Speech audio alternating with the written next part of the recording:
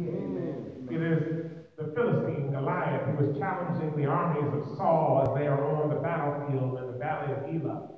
And he is taunting Israel. He is taunting Israel and asking the question Is there a warrior that would serve their God and come out here and battle me? The Bible tells us that they have been doing this for 30 days straight. And that evidently there was nobody in Israel that was prepared to stand up and represent God in a battle against Goliath. We know uh-huh. from history that he was a, a big man. He was tall. Some say seven, eight feet tall. Matter of fact, he had an armor bearer that was carrying his sword because his sword was so big. And, and he was out there looking at them, knowing full well that there was nobody in their right mind that was going to go into battle with him. It was a bit of a stalemate, something was going to have to happen.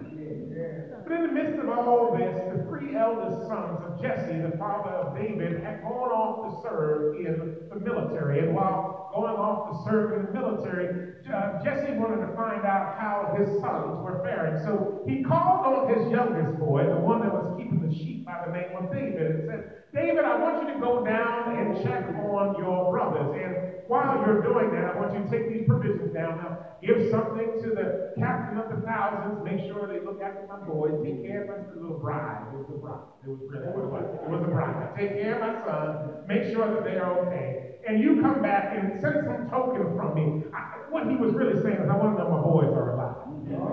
I want to make sure my boys are okay. Yeah. And so David, a precocious 13-year-old, heads down to uh, the battle scene. And I can imagine as if any other teenage boy, when you see a battle, if you ever been to a middle school or high school and a fight breaks out, all the young folk, instead of running away, are running in trying to see what was going on. And been seeing a battle scene, and he's hearing Goliath taunt Israel and challenge them, and not just taunt Israel, but really is calling out their God at the same time. I can imagine he's saying to yourself, if you're big and fat enough and your God is all that, how come you haven't come down here to battle with me? Why haven't you come into this place to, to challenge me? Why come you haven't taken? If your God is all that, then why don't you show yourself and stop standing there on the sideline looking like deer when they see some lights? Come on now and battle me. Uh-huh. David's looking at all this and, and begins to ask some questions like, well, well who's going to handle this? And who's going to take care of this? And what happens if somebody goes down there to, to challenge and they say, look, the king said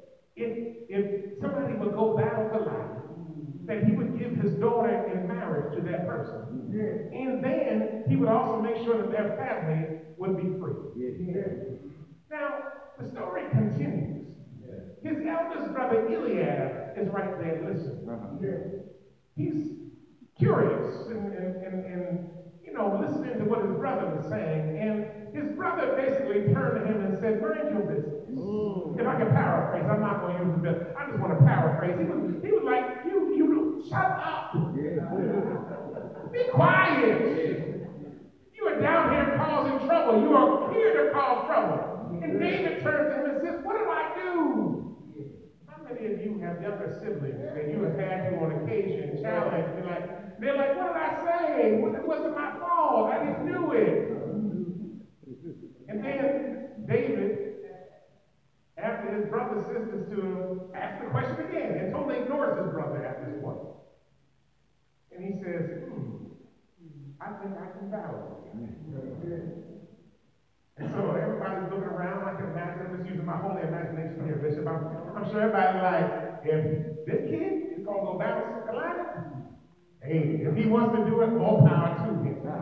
And so they take him over to Saul, and he goes to Saul, and Saul, I'm thinking, is looking at him. He's the king of Israel, looking at this boy who was probably still a little dirty from hanging out with the sheep and probably hadn't fully cleaned up. He didn't take a shower. That's what I'm saying. He hadn't got himself all together. He's looking at this boy, and this boy is saying, I'm going to take him out. And Saul is looking at him, and then David has to begin to lay down his credentials. He's like, look, I've taken on lions and bears while protecting the sheep. I can handle this. And Saul looks and probably thinks to himself, if he wants to kill himself, that's entirely up to him.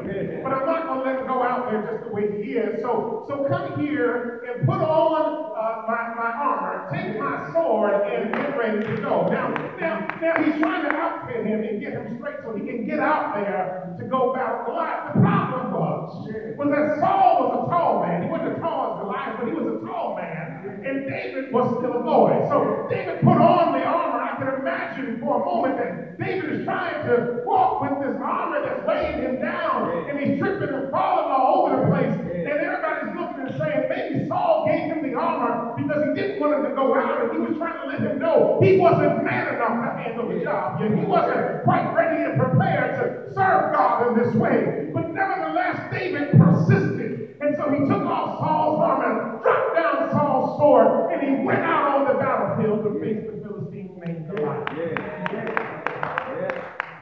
Now he gets out to the field. Mm-hmm. And he's facing Goliath. And Goliath, I'm sure, is chuckling to himself. They sent a boy to do a man's job. And he begins to challenge David. And Goliath says, You almost think I'm a dog because you're trying to send a stick out here to chastise me.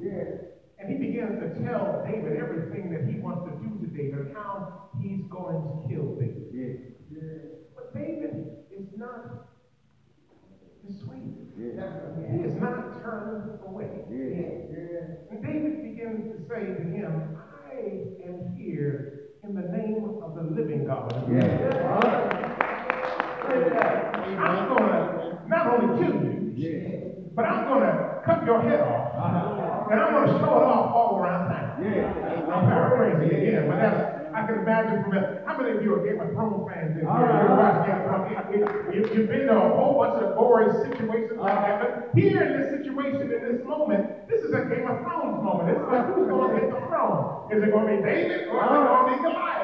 Everybody's betting against David. They're like, nice try. But they're looking at Goliath saying, that's who we should be sitting on the throne. But in the midst of all this, he's looking at him, and Goliath is fully arrayed in his battle armament. He's got his sword bearer standing right there, his shield bearer standing right there, holding his instruments that are probably bigger than the height that David is. And yet, David begins to walk up closer and closer to him. And I can imagine that, that as he's getting closer, he might even begin to pick up some speed. The Bible says that he reached down into the water and picked up five smooth stones, pulled out a slingshot. I'm sure Goliath's thinking, oh, now he's going to hit me with a pebble, and it's going to make a difference.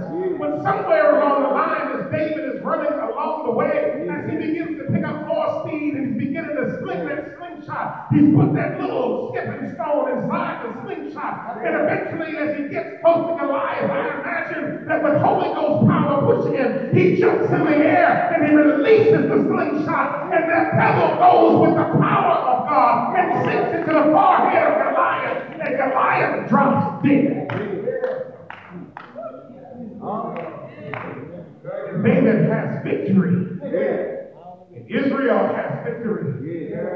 But more importantly, God has victory.